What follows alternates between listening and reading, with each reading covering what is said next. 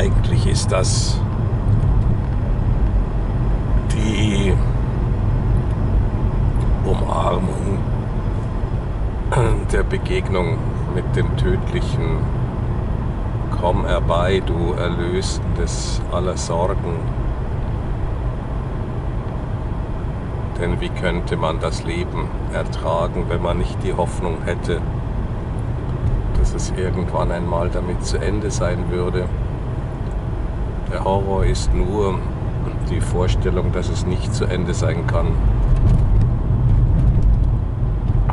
sondern die ganzen zerlegten Bestandteile sich dann wieder neu synthetisieren müssen, den neuen Umtransformierungsprozessen wieder unterworfen werden.